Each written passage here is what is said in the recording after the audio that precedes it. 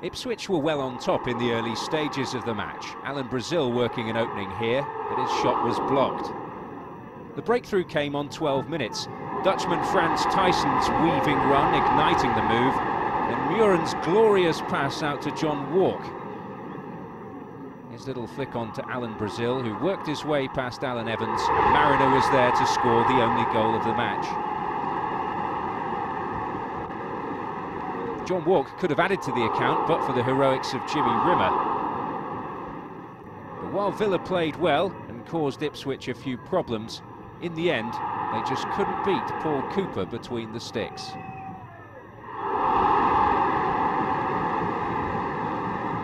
He didn't like getting beat by them, that's for sure. He didn't like getting knocked out of the cup. You know,